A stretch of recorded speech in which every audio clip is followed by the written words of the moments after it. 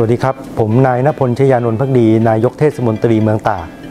ผมมีความตั้งใจอย่างแน่วแน่ว่าจะพัฒนาเมืองตากพัฒนาบ้านเกิด ให้เป็นเมืองทันสมัย ภายใต้วิสัยทัศน์เมืองตากทันสมัย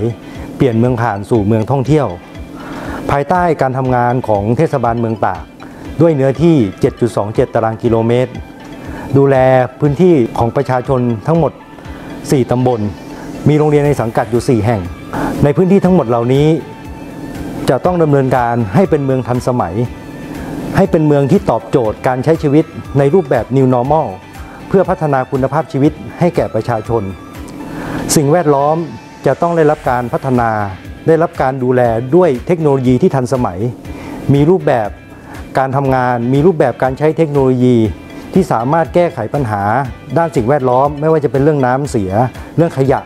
ด้วยเทคโนโลยี จะต้องมีการพัฒนาคุณภาพชีวิต ดูแลการศึกษา ให้กับเด็กและเยาวชนในเขตเทศบาลเมืองตาก ด้วยการใช้เทคโนโลยีทางการศึกษาที่เหมาะสม มีสื่อวิดิทัศน์ที่ทันสมัย ตอบโจทย์การพัฒนาทรัพยากรมนุษย์ มีการพัฒนาด้านการใช้พลังงาน ที่มีความทันสมัย เป็นพลังงานสะอาด ที่สามารถที่จะช่วยแก้ปัญหาโลกร้อน และแก้ปัญหาต่างๆ ของพี่น้องประชาชน ให้อยู่ดีกินดีมีความสุข นอกจากนี้ยังจะต้องพัฒนาเรื่องระบบการบริหารงานของภาครัฐ ในเทศบาลเมืองตาก จะต้องใช้ระบบของ Smart Government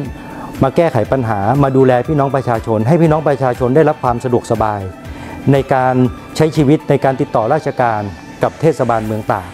รวมถึงพี่น้องประชาชนที่มาท่องเที่ยวในเขตเทศบาลเมืองตากด้วย ทั้งหมดทั้งมวลต่างๆ เหล่านี้จะเป็นแนวทางที่นำมาใช้ ในการดูแลพี่น้องประชาชน เป็นการสร้างศักยภาพ เป็นการสร้างอนาคต